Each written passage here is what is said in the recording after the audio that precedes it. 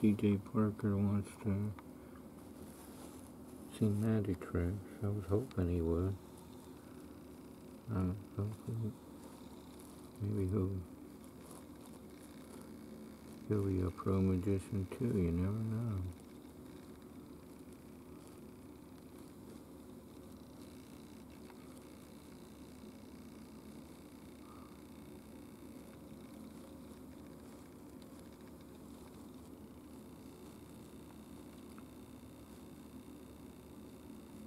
Shawn Farquhar, Luden's magician, who won a lot of times on Penn Teller Fool Us. He started as a chef, with pizzas and stuff, did magic tricks with the pepperoni, like coins across and stuff. And anyway, he, he suggested to make the moon disappear. He just Copper's just going to snap his fingers and make it disappear. He's that good. He said the guy's good. Go to, go to YouTube channels, Jason Parker Magic, and Lloyd Barnes YouTube channel on magic tricks.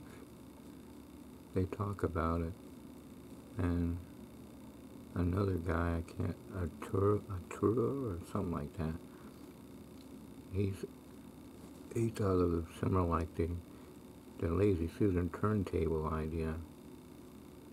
And if you wanted to, you could do it like the front Ferrari, raise the platform higher up, sun meets the horizon idea, reverse to bring it back.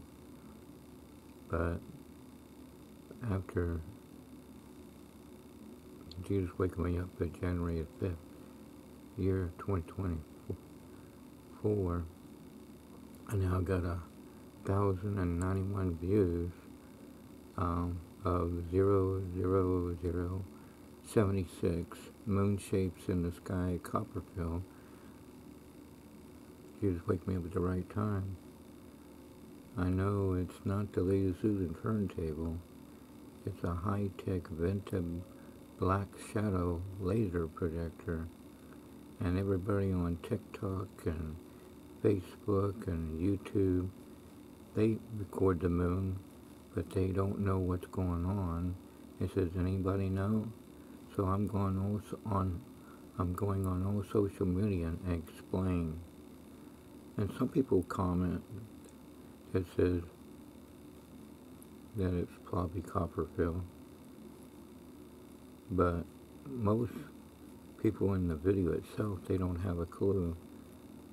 So I go on you, you, YouTube, TikTok, anywhere that has video and explain that it's Andre Kole's Christian illusionist who thought of seven ways in the 1970s to make the real moon vanish and reappear.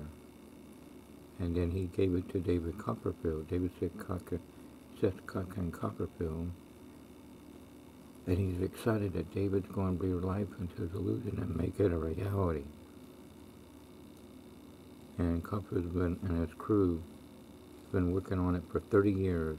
That's 30 years of hard work. From 1980s on up.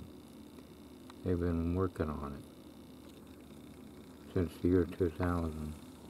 I've been telling everybody in the 1990s that copper is going to make the moon disappear.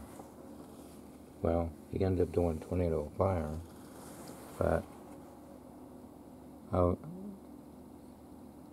um, everybody say about the moon vanish. They say, oh, that's interesting. There's eclipse at this time. I said, well, maybe, but Comfort don't need an eclipse. If knowing him it would be some kind of high-tech device.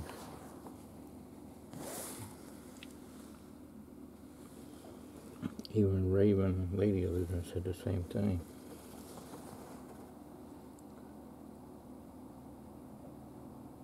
was even in the 1990s that said a mirror in outer space to cover the moon, or use a stage scrim netting, or some kind of high-tech cloaking device that the military's got.